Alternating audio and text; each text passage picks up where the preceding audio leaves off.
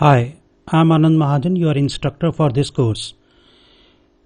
Uh, now we are going to discuss a very important topic that is array of objects. When we people have many objects to work with, it's very impractical to have as many object names. So what we can do is we can have an array of objects like this. Suppose name of array is ER then ER0 will represent the first object, ER1 second object, ER2 third object, ER3 fourth object and so on ERN. So this is how we deal with this problem of having multiple objects. So let me uh, uh, let me show you an example of array of objects. We clicked on file C C++ source. There is no need to create an object because we are going to have a single file and file name with full path uh, let me go to my folder of choice. Uh, Mahajans right. So you can choose the folder of your own choice. Uh, okay Udemy. Then let me go to C++ course. Yes okay.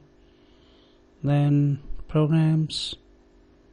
Okay so let me give uh, the name of the new file C++ file. Uh, let me give it a suggested name array of objects. Okay now click on finish. So we will be doing a couple of uh, things like including iostream header file right? Then using namespace std standard namespace is being included then uh, let me create a simple class with the name employees okay. I have taken a uh, taken an instance variable e code that stands for employee code of long data type then for basic salary b sal int data type variable and then hra happens to be a so three instance variables are enough. Now, uh, now I am going to have a member function read underscore data whereby I will be reading the values for these instance variables. Okay cout and I'll enter the employee code basic salary HRA okay that's it. This is the prompt. Now let me create the cin stream input stream for reading these values. Cin extraction operator ecode extraction operator bsal extraction operator hra so far so good. Okay. Then i'm going to have uh, a function member function with the name calc underscore net salary. Uh, that will be calculating the net salary of the current object and returning it back. Okay quite simple float and cell and cell is equal to bsal plus hra okay then return. Okay return cell so great job. Now let me give uh, this comment end of class. A class is always terminated by a semicolon. So now we are going to write down this main function right? So let me execute uh, an object of the employees class. I'm sorry this time over let me create an array of objects for the employees class. So I'm giving the command declaration of array of objects of three objects rather. So three objects would be created in the form of an array.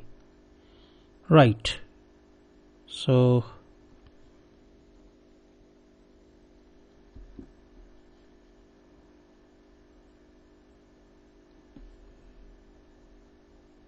as I have told you uh, previously also an array name is uh, sorry a class class uh, classes are user defined data types. So if someone asks you what is the data type of this array er you would say employees.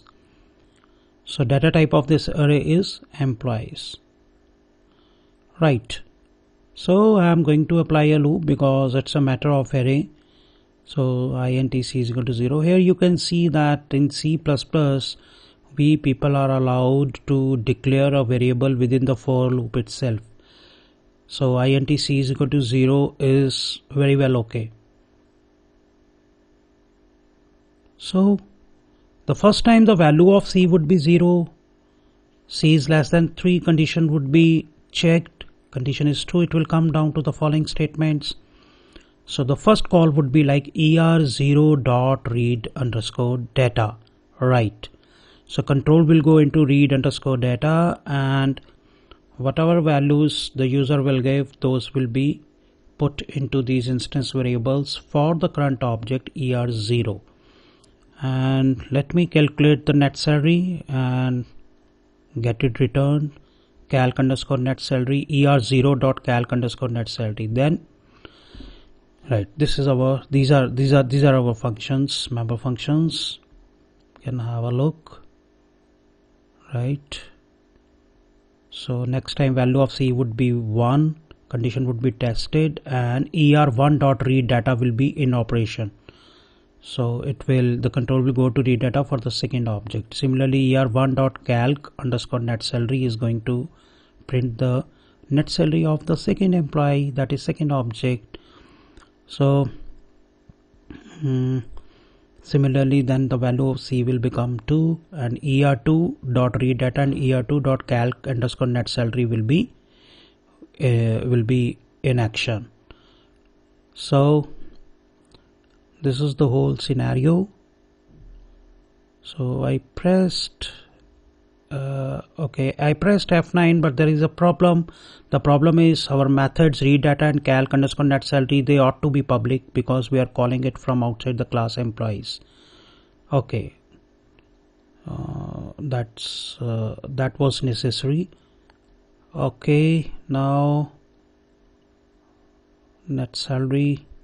So so this is it enter the employee code basic salary and HRA I'm giving the values like 101 12900 so this is the net salary for the first employee first object sorry. First object was er0 that is the first element of your array of objects. And this is for the second and this is for the third.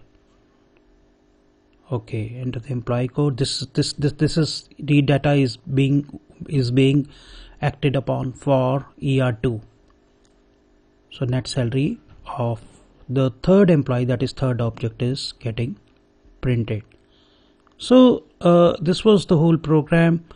I think you were able to understand it. When we people are supposed to have multiple objects then it is uh, almost impossible to declare so many objects and call the methods that is functions individually for those methods so it bet it's better to have array of objects and by applying the loops we can work uh, very well. So again once we have given the values let me show you the diagram again. In that case the diagram will look like this.